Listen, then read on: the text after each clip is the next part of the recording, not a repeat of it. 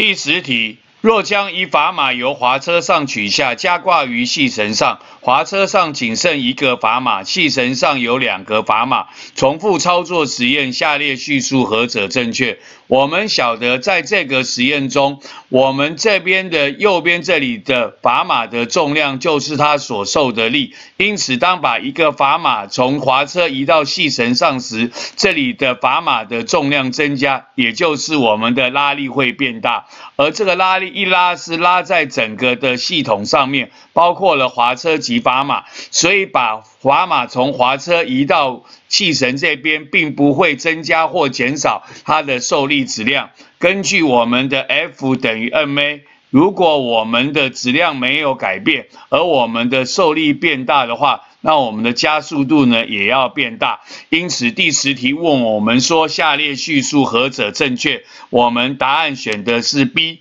因拉力增加，所以滑车获得较大加速度。